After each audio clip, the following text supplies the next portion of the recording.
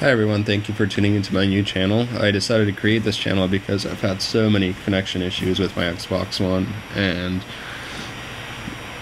I found a way to fix it. My issues were a little more complex and I had to sort it out with the ISP, but this process should work for you unless you have a bigger issue.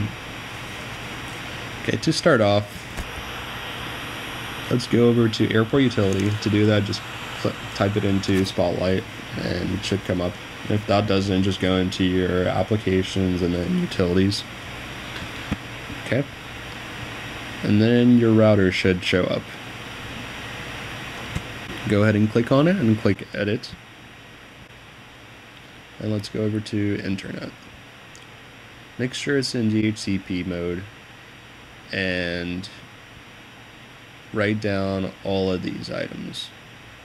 So that's your IPv4 address, your subnet mask, router address, and DNS. We're going to use those later on in the video.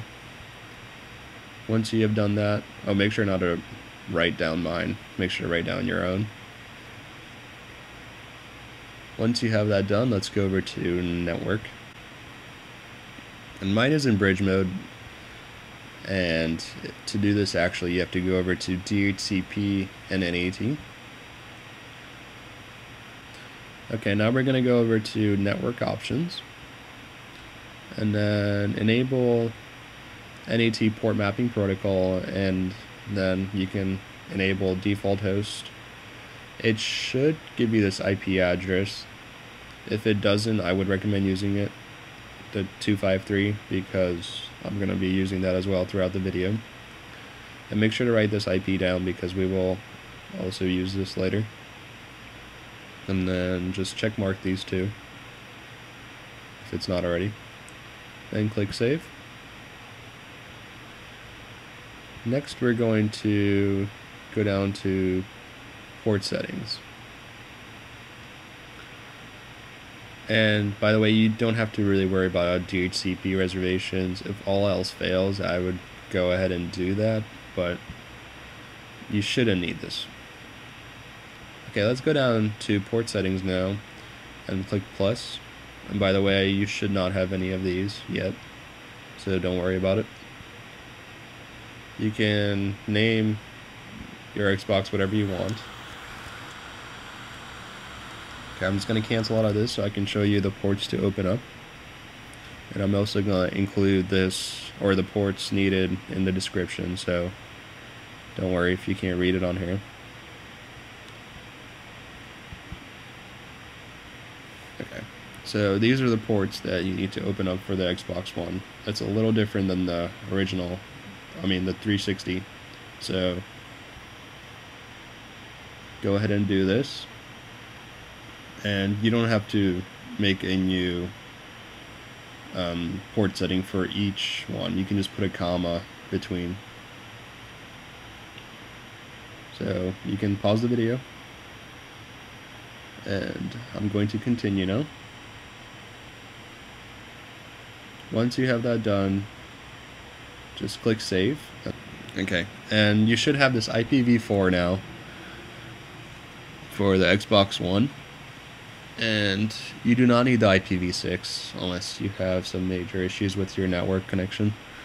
And for that I will make a separate video later on. Okay now that we have that done let's click update. And we are now in the Xbox One section of the video. I am terribly sorry for the quality but I realize that you cannot use the game DVR for settings. Well anyways let's continue Okay, so let's go into settings and then network settings.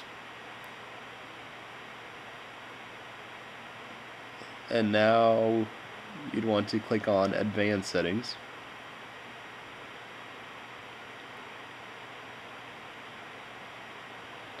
And then IP settings.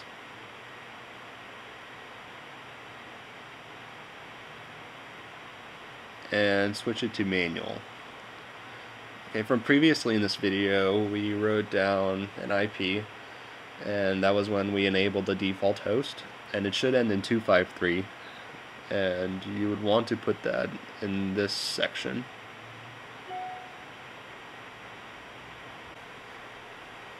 The next part of the settings will be um, the subnet mask, and we wrote that down when we were in the internet section of airport utility.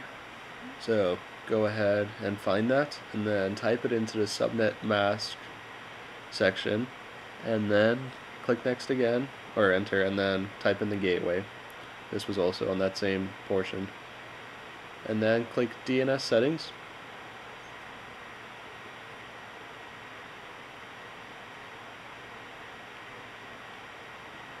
and same way manual and then enter in your primary DNS and you most likely don't have a secondary DNS so don't worry about that.